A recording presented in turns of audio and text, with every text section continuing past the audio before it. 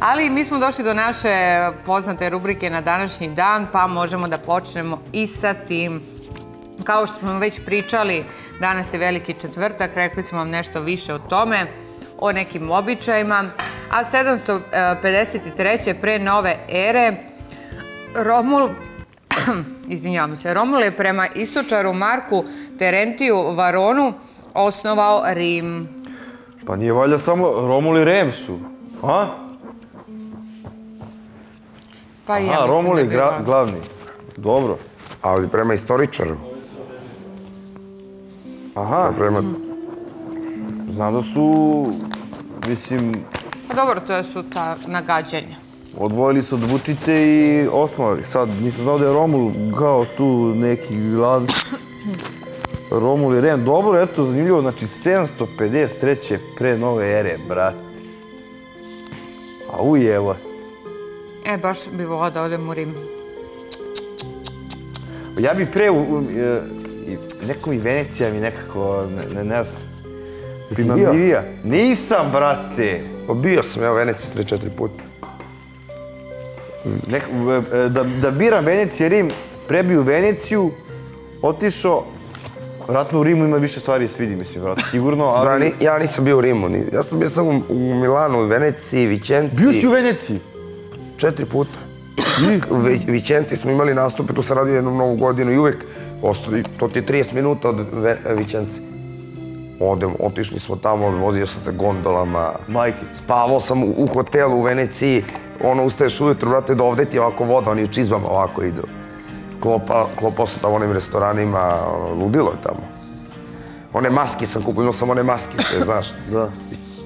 Baš je dobro, rade, oni, iz, sve rade ljudi iz Bangladeša. Iz Bangladeša, da. Ma, idi. Majke mi moje. Baš je dobro. I u kazinu sam bio čak u Veneciji. U kazinu, majke mi. I kockali tamo. Čekaj, bre, to kad nadođe voda. Jel to Lako po ulicama, I u, hotelima, u tim hotelima i ovako ti dođe voda, onako ispred ti gledaš kao poplava, to je normalno tamo, ti izađeš samo onako u čizmama, dobiješ čizme, evo dobiješ onaj, e, kako se zove, kišobran, kad je, znaš, kad je kiša i to sve. I onda, su tamo, i onda vo- ova voda ta posle ode. Normalno, gondolom ideš, pazi, gondolom smo išli ovako do kazina, gon- vozite gondola, iz gondola izlaziš u kazino. I onda izađeš na drugu stranu pešačku zonu, možda napraviš krug. Baš je dobro.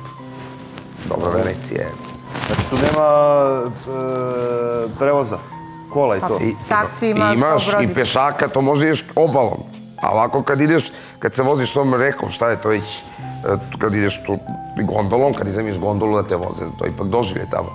Ideš gondolom i to ti je to. Rečni taks. 70 eura ti je do- gondola, 80 bila tada. Da. To nije mnogo isto. Četvoro, petero ljudi idu na gondoli.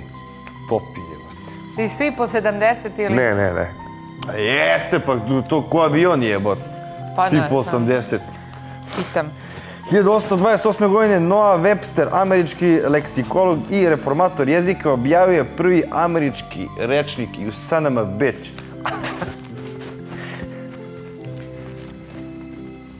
Šta je meni smešno, brate? Imam 34 godine, mislim, za dva mjeseca jebate. Strašno. Pa ne znam. 1856. godine Australija je postala prva država u svijetu koja je uvela osmočasovno radno vreme. Pa koliko je pre toga E, bilo? nabijem va, i, i, i vas i kengure i koale, majmuni jedni. Pa 12 sati su radili pre toga. Aha, top kraljevi jedni bogovi. Jebate. Da. Ovaj, pa dobro, bolje je svakako osam. Ali eto. Nije ni to nekad lako, zavisi šta radiš. Pa da. A, e, 1882. godine u Narodnom pozorištu u Beogradu izvedena je prva srpska opereta Vračara koju je komponovao Davorin Jenko, autor inače srpske himne Bože pravde. Idemo, ovaj, eto imamo sliku. Davorin Jenko. Svi znamo za ovo. Tako da možemo dalje. 1924. u Beogradu osnovana prva srpska fabrika aviona Živojin Rogoža, Rogožarski. Kak je ovo avion, bre, šta je ovo?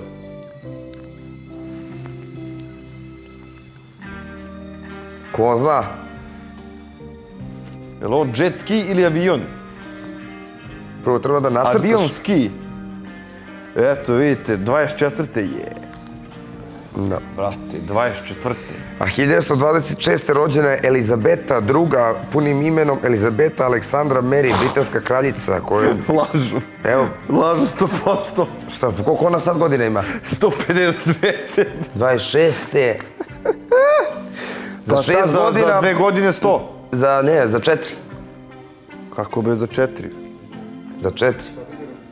Sad, pa evo, rođena... Pa danas, da, danas je rođena.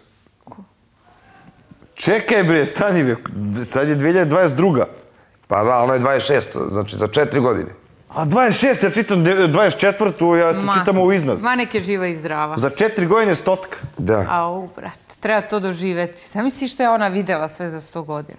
Pa šta, to je top. Ja bih volao da vidim Pa što... ona sad može kaže koliko imam stotku. Ona lako to već sad ima kod ima stotku. Pa da. Pa da. Je, evo, 96 godina ima.